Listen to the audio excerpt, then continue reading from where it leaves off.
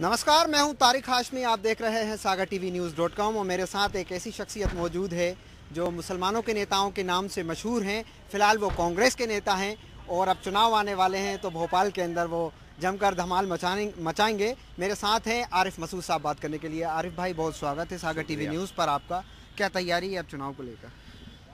हमारा एक ही लक्ष्य है कि मध्य प्रदेश के अंदर दमन का चक्र रुकना चाहिए और जिस तरह से बेगुनाहों की जाने गई हैं, उसका इंतकाम लेने का वक्त आ गया।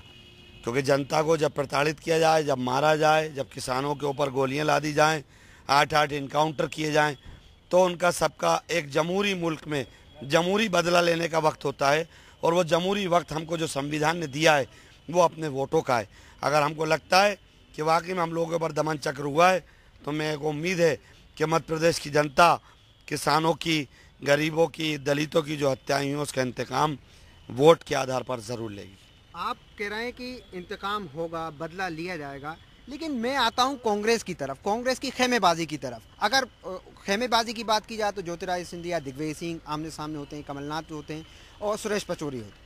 लेकिन अगर फिर नीचे की तरफ़ बात जाई जाए और आपकी बात कर लिया जाए तो आरिफ मसूद और आरिफ अकील हमेशा आमने सामने होते हैं। देखिए, ये खेमेबंदी हमेशा चलती है, हर घर में भी भाई होते हैं, दो भाई अलग अलग काम करते हैं अलग अलग विचारधारा हो जाती है। इसका मतलब ये नहीं होता कि हमारी असल लड़ाई से मुद्दा हट जाए।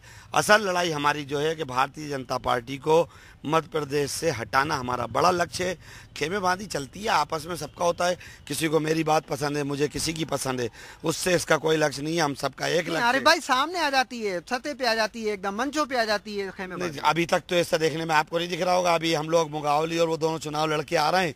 पूरी कांग्रेस एक साथ खड़ी थी। तो वहाँ तो ज्योतिरादित्य सिंधिया को फ्री एंड दे दिया था ना। तो इसी तरह मध्य प्रदेश में हर जगह मैं तो आज भी कह रहा हूँ मेरी बात अगर आप पहुँचा सकते हैं तो मैं हाईकमान को कह रहा हूँ और दीपक बावरिया जी को मिलकर कह चुका हूँ कि मध्य प्रदेश के अंदर बड़े सम्मानीय नेताओं को ज़िम्मेदारी दी जाए और इनको ज़िम्मेदारी ऐसी दी जाए जो जिस संभाग में काम कर रहा है।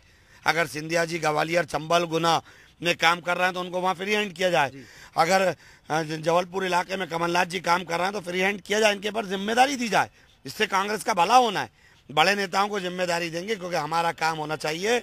कि नंबर कितने आ रहे हैं। आप बिल्कुल सही कह रहे हैं ज्योतिराय सिंधिया को चंबल दिया जाए महाकौशल कमलनाथ जी को दिया जाए अगर इंदौर का और मालवा का इलाका है तो दिग्विजय सिंह जी को दिया जाए। लेकिन ऐसा होता नहीं है। हमेशा वही खेमेबाजी आ जाती है कि चीफ मिनिस्टर का कैंडिडेट कौन तो इसके अंदर नहीं हो पाता ना। अभी तो हमारा एक लक्ष्य होगा कि हम सरकार बनाए चीफ मिनिस्टर हमेशा कांग्रेस हाईकमान तय करता है और मैं नहीं समझता कि उस पर अच्छा एक बात एक सवाल और। आरिफ भाई आरिफ मसूद साहब चुनाव लड़ने के लिए इस बार तैयार है? बिल्कुल पूरी तरह से कमर कसे। हम तो हारने के बाद से घर ही नहीं बैठे।